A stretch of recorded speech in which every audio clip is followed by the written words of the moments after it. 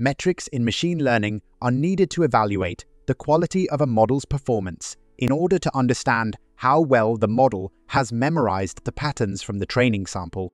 Today, we will consider metrics for the regression problem, prediction of a continuous target variable. For such a task, we want our models to predict numbers as close to the true numbers as possible so that deviations between the real value and the model's prediction are minimized. To calculate different regression metrics, let's take data from standard datasets and work with the for the regression problem where target variable is the value of the house price. Now let's take a linear model and train it on the sample. After that, make predictions on the whole sample to see how well the model has learned to predict house price and plot the true values of the target variable and the values of the house price predicted by the model side by side. The first row should have predicted 24 and predicted 30, the second row has a truth of 21.6 and the model said 25, we can go through each object and see how close the prediction was. Now the new column has the difference between the prediction and the truth. We can find out on average how big this difference as sum up the deviations and divide by the number of rows. The result is something very small, maximally close to zero, which means that on average our predictions are very close to the truth but this is not true because above we observed that the predictions deviate from the truth by decent values. The average deviation is such a small error because the difference can be both positive if we predicted more and negative if we predicted less. And when we sum up the positive and negative values, they cancel each other out, and as a result we get a small error. It turns out that we need to get rid of the minus sign in our predictions. We can take absolute values take the modulus of the number. Now it will not be such that negative and positive deviations are clumped into zero. Let's find the average modulus deviation for the whole sample. It turns out we are on average wrong by 3.2007 units for the whole sample. This we have calculated a metric called mean absolute error. It is implemented in the library in the metrics module. We can calculate metric not manually but with the mean absolute error function also, we get the same metric value as we got from manual counting. So closer the mean absolute error metric is to zero, the better. How else could we get rid of the minus sign in section of difference? We could square the difference and then look for the sample mean in the same way.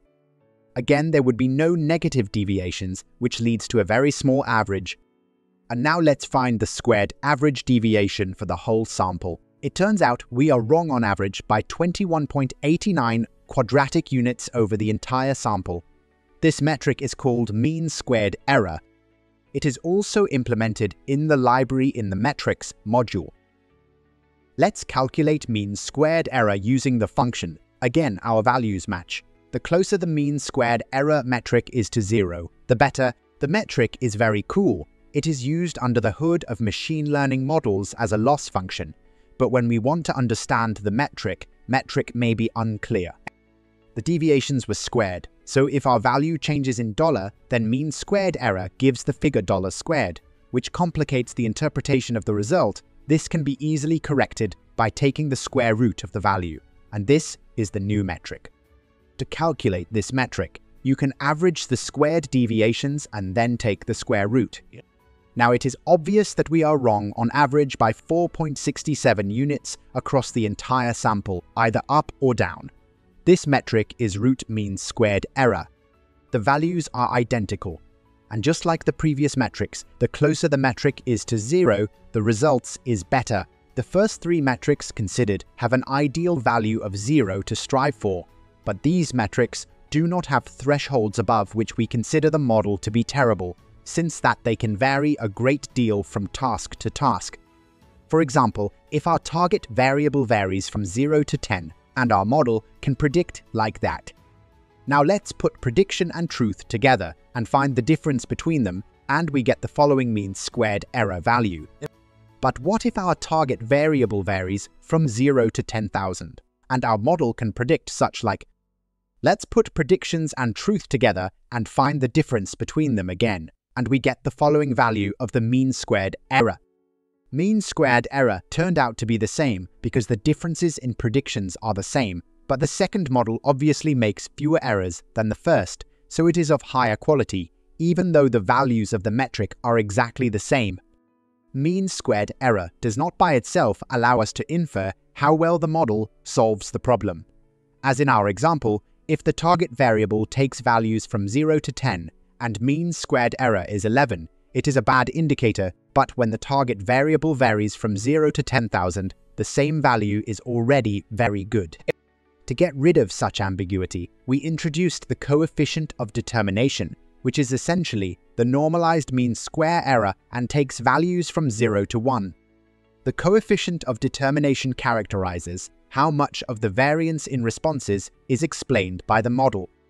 To calculate this metric, the mean squared error of our model is used in the numerator, and the variance of the target variable is used in the denominator, although this value can be treated as metric, not the smartest constant model, which everywhere answers to the sample mean, we obtain that the mean squared error of the constant model, which everywhere answers to the sample mean, is equal to 84 and the mean squared error of our model is as follows, which is better than the constant responses, meaning that our model describes the variance of the target variable, meaning that it captures more variation in the data than a simple sample mean.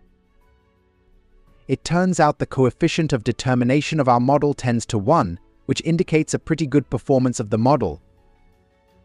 Sometimes it happens that the model turns out to be very bad, that its answers do not correlate in any way with the true ones, in which case the coefficient of determination can be negative. The resulting mean squared error is much larger than the sampling variance, which is the reason why a large number is obtained when dividing the mean squared error by the mean squared error of the constant model, which everywhere corresponds to the sample mean. Now subtract this number from 1 results in a negative value, or they could have calculated the metric right away, you should not be frightened by this, but fix the model. Perhaps the model has been retrained, or incorrect data preprocessing was used in predicting objects. In this video, we explored various regression metrics, providing insights into evaluating the performance of regression models. Thank you for watching and gaining new skills in understanding regression metrics. Your support encourages us to continue creating valuable content